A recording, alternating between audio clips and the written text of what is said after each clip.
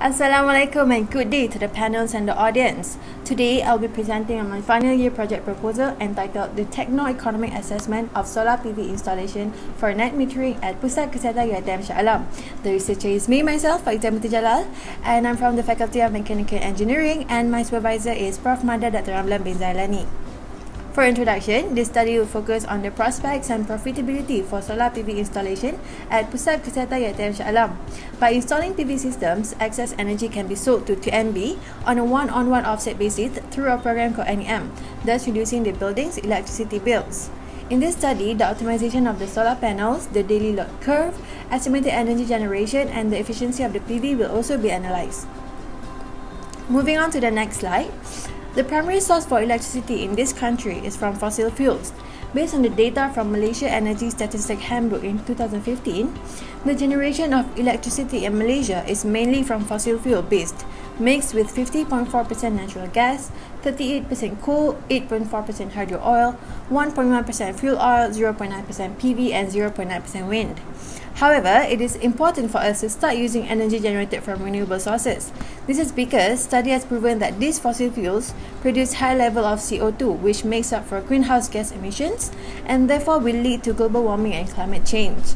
So in order to prevent this from happening, we need to start encouraging the use of renewable energy in our daily life. Therefore, Malaysia has come up with some helpful initiatives to promote clean energy generation from renewable sources. Under the NEM scheme, customers can reduce their bills by directly using the electricity that they generated from their PV panels. I will talk more about NEM program in a little bit, but according to TNB, one of the benefits of going solar is that users can save up to 15% for their electricity costs depending on the PV panel size, system performance and actual solar energy generation.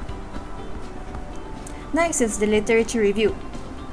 In 2011, the Malaysia government has introduced the Renewable Energy Act called the RE Act along with the Sustainable Energy Development Authority Act called the SEDA Act to encourage the generation of renewable energy in Malaysia. So this is in line with Malaysia's vision to reduce our reliance on non-renewable energy resources like fossil fuel-based, namely coal and natural gas. So although these energy sources have long been used traditionally as the main power source to generate electricity for our country, it is proven that it brings negative impacts to the environment. So after the launch of the RE Act 2011, the government has since then introduced a few initiatives to, for solar PV to encourage Malaysia's renewable energy uptake. As stated in the SEDA website, the baseline CO2 level for the Peninsula of Malaysia for electricity generation in 2014 is 0.694 TCO2 per megawatt hour and it has gone down compared to the previous 2013 level of 0.742 TCO2 per megawatt hour. According to GAN, Komayama and Tidong in 2013, Malaysia is dedicated to reduce its greenhouse gas emissions by 40% in the year of 2035 compared to 2005 level. So by generating its own clean energy from renewable sources, environmental pollution from fossil fuels can be largely reduced. So one of the programs for solar PV launched by the government is the FIT scheme. FIT or Feed-in Tariff is a scheme introduced in 2011 by the government to promote energy generation from renewable energy sources up to 30 megawatt. So through the FIT scheme, the government will pay the users with solar PV installed in their building for the energy that they generated and exported back to TNB. So each kilowatt hour of the energy generated will be sold at a certain fixed price for a contractual period of 21 years. FIT scheme covers resources such as solar PV, biogas, biomass and small hydroelectric. Between the four options, however, solar PV is the most popular as it has a higher FIT rates compared to the others. However, the government has stopped the FIT scheme for solar PV in 2016 and replaced it with a new scheme called the NEM or Net Energy Metering. NEM allows customers to supply their own electricity from solar PV system installed at their site and pay only for the net energy that they obtain from TNB. Under NEM, the energy generated on site will be consumed first by the building and the excess power generated will be exported to the TNB grid at a predetermined rate of 31 cents per kilowatt hour for residential customers and 23 cents per kilowatt hour for commercial and industrial customers. Since the output of the PV system of a building may not meet the electricity demand at the site, customers with PV system may export excess power generated to the TNB grid at some time and may also import power in order to meet the demand. Therefore, TNB will only bill customers for the net electricity that they use during each billing period.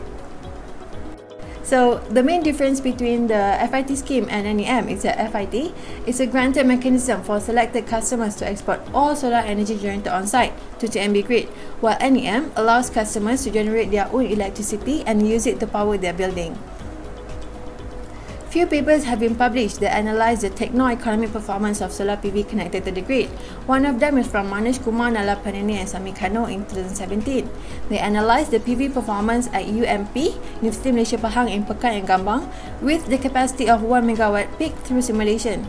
The maximum energy yielded of the PV plant was estimated to be 1,390 megawatt hour and the university is predicted to be able to save around 700,000 annually. In its lifetime, the project is estimated to save around 170,000 TCO2 which will help to reduce carbon footprints. So at Pusat Kesihatan UiTM, electricity is needed for the lighting equipment, air conditioners, fans and other medical equipment used in the location. So the electricity bills must be high in order to power the large building. So through the net energy metering program, the building can produce its own solar energy and sell the excess energy produced to the TNB grid, thus possibly reducing the electricity bills. To get the maximum solar generation from the PV system, there are a few parameters that need to be considered such as the azimuth angle, tilt angle and the orientation of the PV panels. Therefore, the objectives of this project is to determine the effect of these parameters on the PV solar energy output, to model the daily load curve and estimated energy generation, and to propose the PV system based on the revenue saved and the payback period depending on the maximum generating capacity of the solar panels. The study will be done at Pusat Kesihatan Inside UiTM Shah Alam. This study will focus on the technical and economic assessment to install solar PV panels on the existing rooftop of the building as well as the optimization of the PV system for net energy metering. Like every research work, there are a few possible limitations to this study which are presented as follows.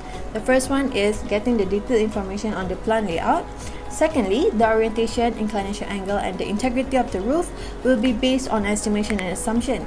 And the third one is the inability of the researcher to access the site for inspection due to COVID-19 government travel restrictions.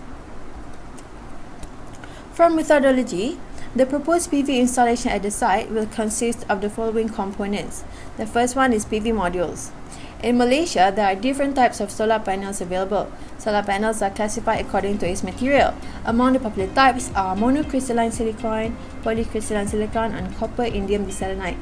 Usually in a large-scale PV plant installations, crystalline solar modules are widely used as it is more efficient. So, in order to estimate the suitable numbers of PV panels required at Pusat Kesihatan, we need to consider a few things. First, the total watt peak rating of the building and the PV module peak rated output. The energy needed to be provided by the PV panels can be calculated by considering the peak energy requirement in kilowatt hour PT times the energy loss in the system.